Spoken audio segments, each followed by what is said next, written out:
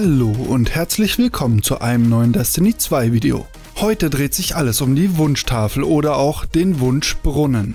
Das ist die Wand im Raid, bei der ihr auf bestimmte Symbole schießen könnt, mit denen ihr dann mit bestimmten Kombinationen viele Dinge freischalten könnt. Unter anderem zum Beispiel ein exklusives Emblem oder aber auch sogar Raid-Rüstung und Raid-Waffen. Und das Ganze ohne den Raid überhaupt zu spielen und solo. Ich würde sagen, lasst uns doch direkt anfangen.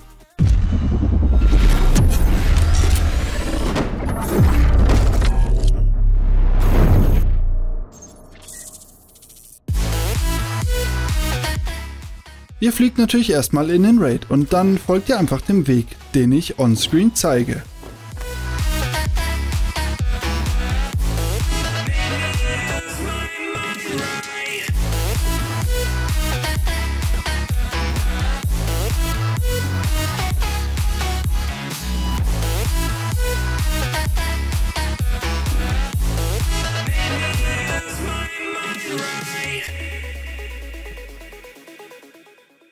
Da wären wir auch schon beim Wunschbrunnen. Hier gibt es 15 verschiedene Wünsche, von denen bereits 13 gefunden wurden.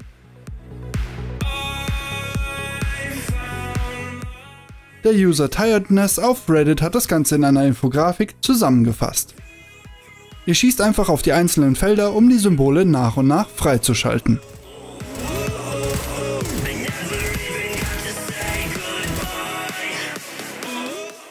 Der erste Wunsch, ein Wunsch einer Sucht nachzugeben, beschert euch einen zusätzlichen ätherischen Schlüssel, mit dem ihr am Ende des Raids nach Riven eine weitere Kiste öffnen könnt. Diesen Schlüssel könnt ihr allerdings nicht einmal pro Woche pro Char freischalten, sondern nur ein einziges Mal für euren gesamten Account, also nur ein Schlüssel und das war's. Weiter geht's mit dem zweiten Wunsch. Der zweite Wunsch, ein Wunsch nach materieller Bestätigung, spawnt eine Kiste zwischen dem dritten und dem vierten Encounter. Also praktisch zwischen Morgoth und dem Tresor. Wenn ihr bei Riven den glitzernden Schlüssel bekommen habt, dann könnt ihr diese Kiste öffnen. Bei allen, die ich bis jetzt erlebt habe, war in dieser Kiste dann das Raid-Schiff.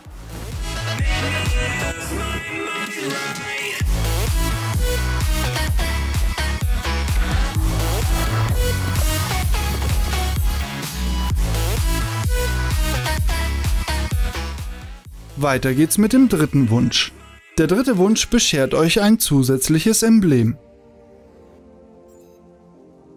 Ich habe das Emblem bereits freigeschalten, da habe ich nicht aufgenommen, aber ich zeige euch das in meiner Kollektion. Ihr könnt es finden unter Aktivitäten und dann auf der letzten Seite. Es nennt sich Zahlen der Macht und sieht so aus.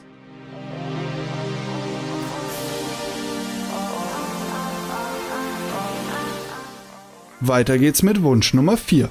Ein Wunsch, athletisch und elegant auszusehen. Dieser Wunsch teleportiert euch zum zweiten Encounter zu Shuro Chi. Ich würde sagen, nutzen wir doch gleich mal die Gelegenheit und holen uns die erste Raid-Kiste. Das könnt ihr wunderbar mit jedem eurer Charaktere machen. Bedenkt jedoch, wenn ihr Teleport-Wünsche benutzt, dann habt ihr einen Checkpoint an dieser Stelle und ihr kommt nicht mehr zurück zur Wunschtafel. Außer ihr habt einen netten Freund oder Clan-Kollegen, der noch einen Checkpoint ganz am Anfang des Raids hat und der euch dann kurz reinfliegt. Ansonsten folgt einfach dem Weg, den ich hier gehe, um zur Kiste zu kommen.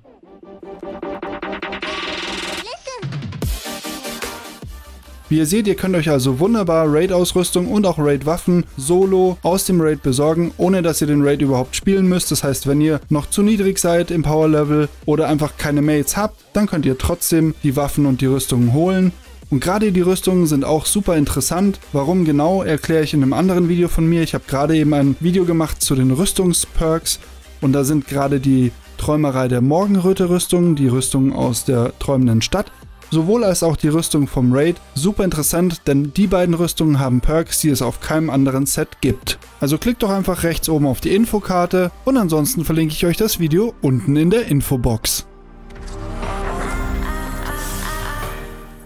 Ich hatte ja auch noch das Glück und habe den Zitterknochen bekommen und das tatsächlich auch noch mit einem Gold Roll.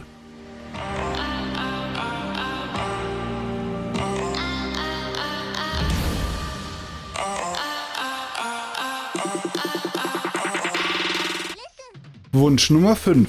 Ein Wunsch auf eine vielversprechende Zukunft.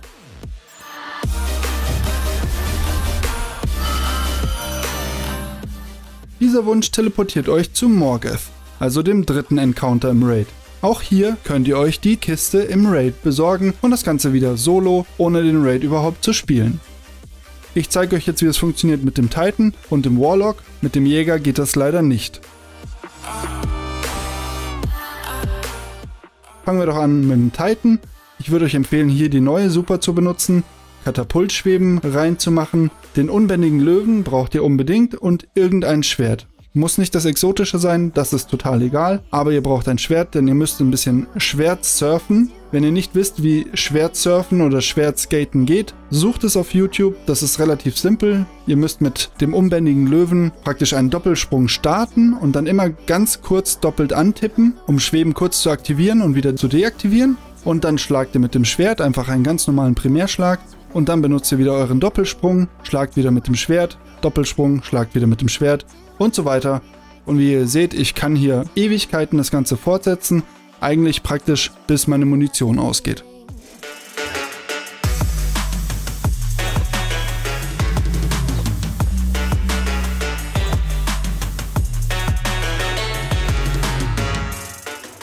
Um zur Kiste zu kommen, folgt einfach dem Weg, den ich hier gehe.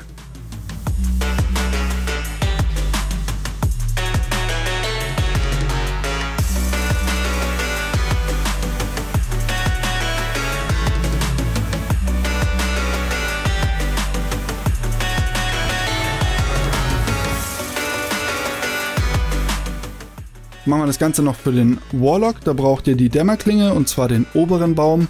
Denn ganz wichtig ist der Icarus-Haken. Und dann braucht ihr noch die Brustflügel der heiligen Morgendämmerung. Denn der Dämmerfoliant, der intrinsische Perk dieser Rüstung, der erlaubt uns in der Luft zu stehen, wenn wir unsere Waffe zielen. Und das brauchen wir, um über den Abgrund zu kommen.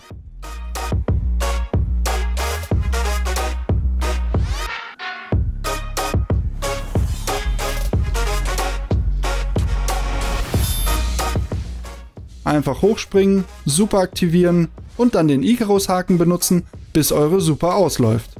Danach könnt ihr ihn nochmal benutzen und dann einfach Rechtsklick zielen. Das Ganze hält 3 Sekunden, sprich wir müssen zweimal zielen, um den Icarus-Haken wieder benutzen zu können.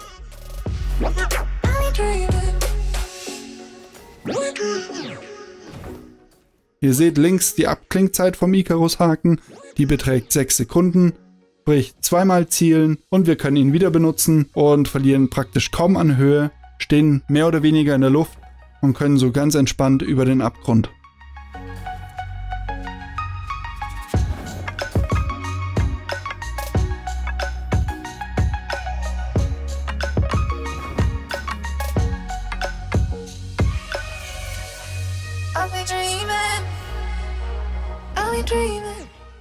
Auch hier laufe ich jetzt nochmal zur Kiste.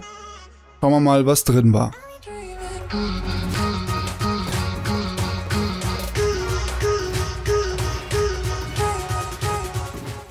Wie bereits erwähnt, mit dem Hunter funktioniert es leider nicht. Der kommt leider nur an eine Kiste. Weiter geht's mit Wunsch Nummer 6. Ein Wunsch, die Zeit beherrschen zu können.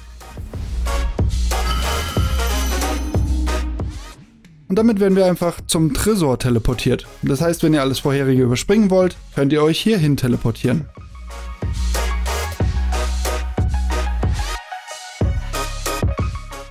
Und Wunsch Nummer 7. Ein Wunsch, einem Freund in Not helfen zu können.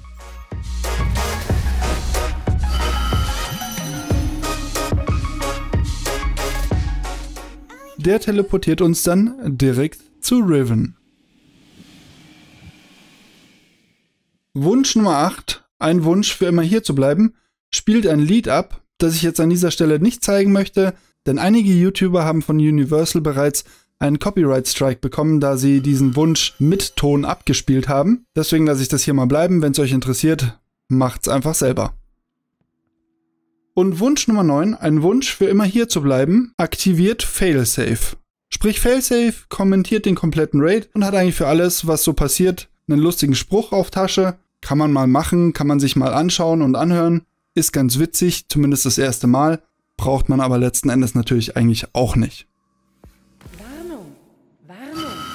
Sensoren zeigen, zeigen Ich habe einen Körper? Captain, hast du dir einen Körper für mich gewünscht?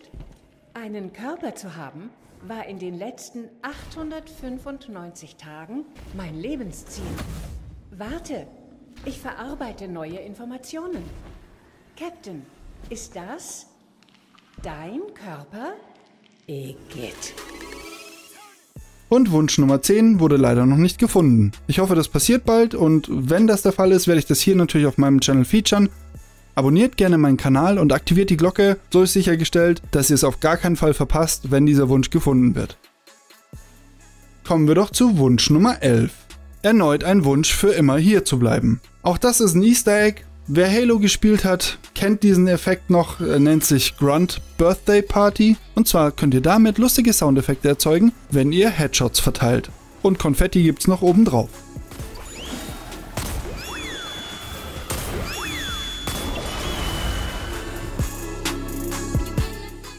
Und damit wären wir bei Wunsch Nummer 12. Ein Wunsch, dich neuen Ideen öffnen zu können. Auch dieser Wunsch ist ein Easter Egg, denn wie ihr seht, bekommt ihr alle hier lustige Kronen oder Köpfe, die sich auch jedes Mal nach einem Respawn verändern.